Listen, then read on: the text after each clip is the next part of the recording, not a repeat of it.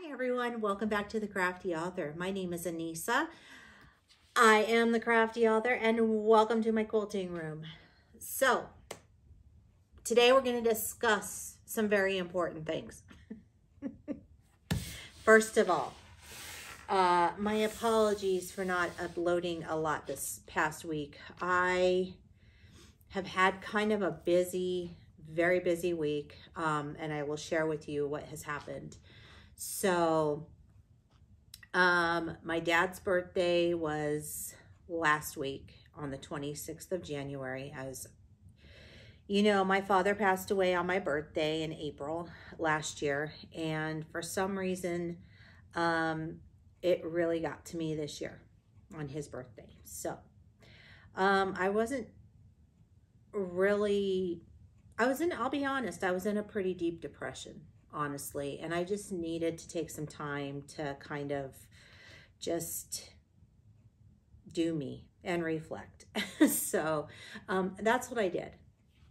And then um, yesterday, my mom got hacked uh, on her computer. So what I want to tell you is to be very, very, very careful of these people that are out there doing that because um, it's really scary. And of course, she was very, very upset. And so was I. Um, but I want to put out there that if that happens to you and you get a notification on your computer telling you that you need to call a phone number that it's a scam. Um, you should call somebody else and like a son or a daughter or anybody that you trust and you should have them help you and walk you through that process because this one popped up on her computer from a reputable company and she called it and thank goodness she didn't give out any of her information but they were trying. They were trying to get it. So to make a long story short, everything is fine. Everything got taken care of. Um, so we're she's doing fine now. Um, but boy, it was a it was a roller coaster of a ride. so as you can imagine. Um, I don't know if you saw what I did on Monday. Uh, my niece is getting married uh, in April. And so I embroidered her bridal robe for her and it turned out beautiful. She is going to have a kind of, it's a formal slash kind of a Western wedding. And so um, she wanted a cowboy hat with a cowboy boot on the back of her, her robe. And so I went ahead and embroidered that for her. And I have pictures on my Instagram, but I'll put some in here too, just so you can see them. Um, there's one that has a different color thread that isn't her wedding colors. It's got a blues and whites and pinks in it. Um, and she really liked that one, but it didn't match her colors. So I went ahead and used that robe as a practice piece and went ahead and put that design there to make sure that I had the right stabilizers and everything. And lucky for me, I did and it's stitched out beautifully. So she's going to use that for her, um, what am I trying to say here? Her wedding shadow box that she's going to make. So um, that's, that's what she's up to there. And then I have been playing with my long arm machine. If you don't know already, I got the Handi Quilter Simply 16 and I want to thank you all for all of your congratulations wishes and everything. I have seen them and I will get to them and start answering some of your questions. I've just been really, really in a slump and then very, very busy. So um, I'm looking straight at it. I'm kind of frustrated. Okay, so I want to talk about long arm machines. before you purchase one, um, you should go to a long arm dealer that's near you or take a trip into town and go to your local sewing shop that, that sells them. And you're going to want to test them out, first of all. Um, I absolutely love my machine and I did test it out before I bought it. And mine was actually a previously loved machine, which I'm totally fine with. Um, my brother and my Janomes are also pre-loved machines. So, and they work great. Um, so anyway, what I have found out in just owning one for the short period of time that I've had it. Um, it takes time to learn how to load a quilt onto your your frame. You have to remember how to do it. And there's several different ways to do it. So you have to find the way that works for you and that makes sense to you. Um, so that is number one that I have found to be kind of a, a learning curve with that. Um, secondly, I like to go faster than the machine, so it gets mad and beeps at me every time I'm going and I go faster than my stitch regulator. Um, I love the stitch regulator because it keeps my stitches nice and even. So that works out great. And then I bought a bunch of accessories for my machine. Now, Handi Quilter has a lot of accessories for your machine. Um, and so when I found that out, because I was on their website looking at stuff, then I started realizing, oh, I need this and I need this and I need this. Um, you don't really need those things, but it's nice to have them. So I will tell you what you do want for sure when you buy a long arm machine, um, depending on which machine you get. Some machines come with some of these things and some don't. So mine did not. Um, so I bought a light kit for mine and I put the lights underneath the throat of my machine so that I have more light and I can see better. I did purchase the back handles with the laser. Um, what that does is it enables you to be able to um, do pant pantographs, I think is what it's called. Um, pantographs, which is this. It's piece of paper. I haven't even opened this yet. Um, but it is a piece of paper and you can put it, tape it down onto your the back of your table if you get the studio table. Now, again, it depends on what kind of frame you get. So mine is the studio 2, but you can see this design here, okay? So you would tape this down onto the back of your table and you will trace those lines with your laser on the back of your handlebars. And that quilts the design onto your fabric. So I do think that that is really an important thing to have. It just gives you more options other than the free motion. Now you can buy the uh, robotics for this machine. I did not do that yet. I am trying to learn the machine first before I jump into that. And also, um, I'm going to open it up once I get comfortable and start doing quilts. I'm going to actually offer that as a service.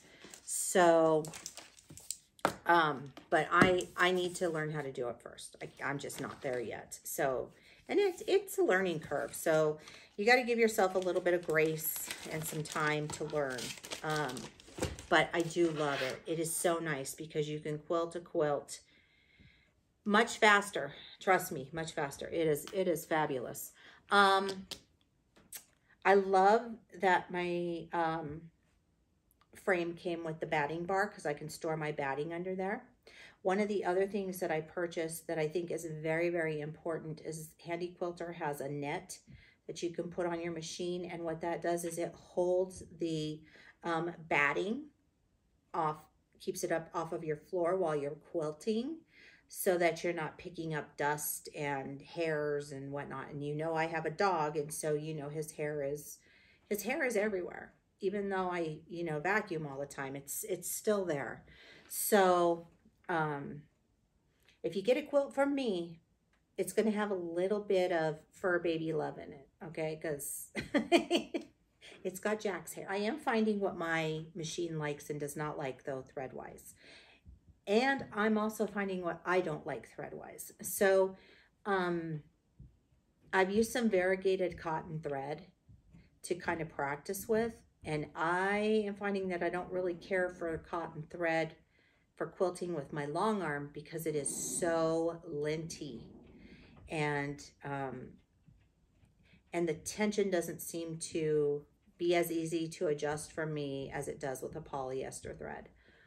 So, um, but I'm still practicing with that. Um, figuring out tension on a long arm machine is a little tedious sometimes, um, and you just have to do it little by bit, bit by bit is what I'm trying to say. And, um, and that goes for your top and your bottom tension.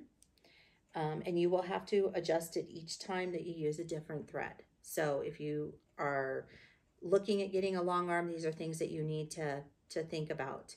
And when you go to the store and you're talking to the, um, the customer service rep and they're, you know, ask them as many questions as you possibly, your machine that you're looking at. Ask them if they do these certain things that are important to you because it is very important. Ask them what kind of feet come with the machine, you know, and does it do ruler quilting and how much is extra is that and this and that and the other thing because there's a lot of extra add-ons. So I have the ruler foot and I have some rulers and I have the ruler table. Those were extra. Um, I bought a glide foot, uh, which looks like a little bowl and I really like that foot. I like it better than just the regular quilting foot on there.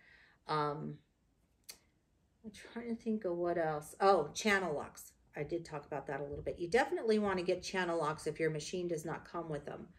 Um, on my machine, what it does is it enables it to lock it so that I can actually stitch horizontally or I can stitch vertically and stitch down the edges of my quilt by basting them. Um, so that's that's really an important thing. Unless you can sew a straight line. If you can just sew a straight line, and then you're good to go. Um, I like to use a stitch length of four or five when I'm basting the quilt. And then my regular stitch that I like to use is about a 13. So, you know, and then of course you're controlling the speed as you're quilting along and, and whatnot. So um, I do really I really like it. There's just a lot to learn, a lot to learn. And I've been playing with it most of today. So it's been, I'm pretty tired now.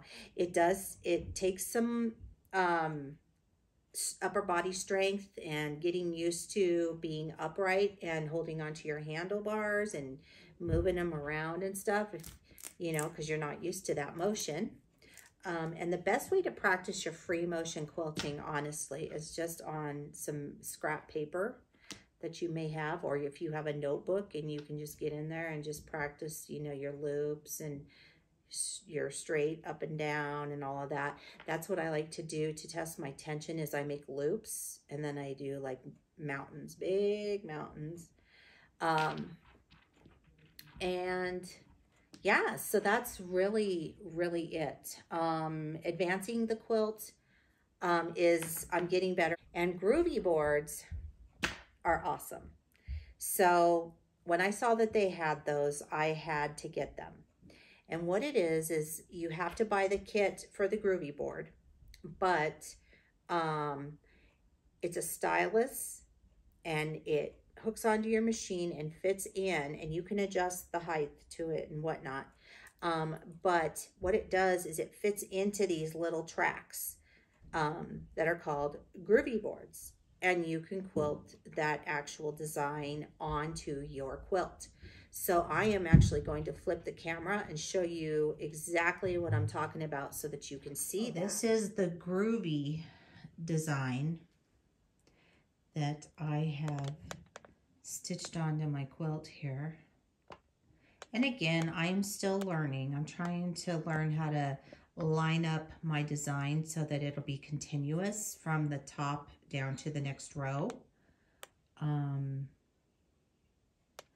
but this is one of my cool designs here. And this is, it's an actual rose is what it is, but this is the groovy board. And then this is what the groovy board looks like. And you can see that it has the little grooves in there that that stylus, let me see if I can zoom in on the stylus. There's the stylus right there.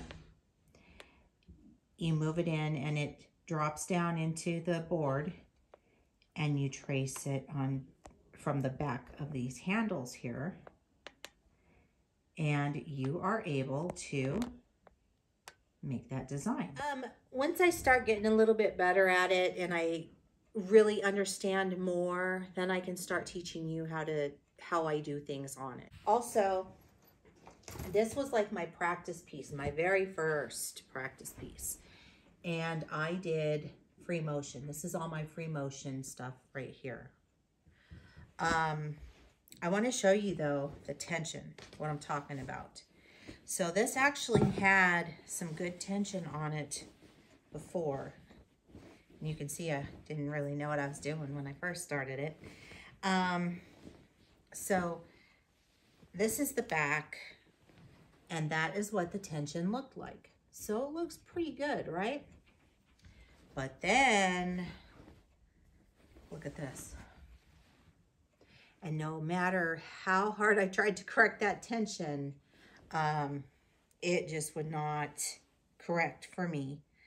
And then I finally rethreaded and did this and tightened my tension again, and then it worked. So it does happen.